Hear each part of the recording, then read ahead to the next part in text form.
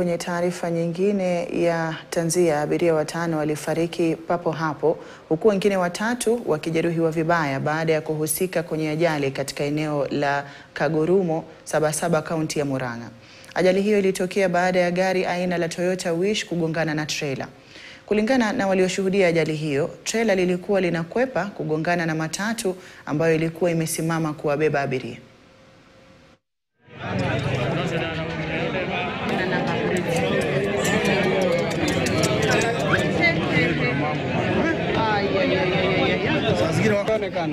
Sasa hii lori ilikuwa inatoka Murang'a na ile gari yenye imeua watu watano wis ilikuwa inatoka Nairobi. Sasa kuna Nissan yenye ilikuwa kwa hii lori ilikuwa inatoka bado Murang'a. Sasa venye abiria alikuwa amesimama, Nissan ikasimama kuchukua abiria, ilikuwa imefuatwa na hii lori. Sasa venye ilikuwa inafuatwa na hii lori, dereva akasimama.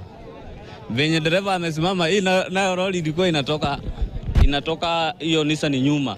Sasa badala ya dereva wa roli auwe watu wengi, ameepuka kuovertake.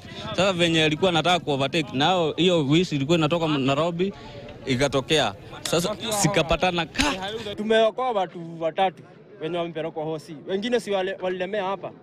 Sasa sisi hatungeweza kitu ingine hmm? watano wako Wa- Wengine hawana mikono, wengine wamepafuliwa bavu kufujafujika, wengine wenye wanapumua hapa, sioni kama watasurvive, lakini tuomba Mungu awanini awaride tu. Where we are currently at the scene, the driver attempted to change lanes. The driver of the trailer, uh, which led to her head-on collision with uh, the small car, the Toyota Wish, uh, uh, leading to the loss of five lives. Uh, I'm informed, reliably informed, that some five persons lost their lives uh, in the accident.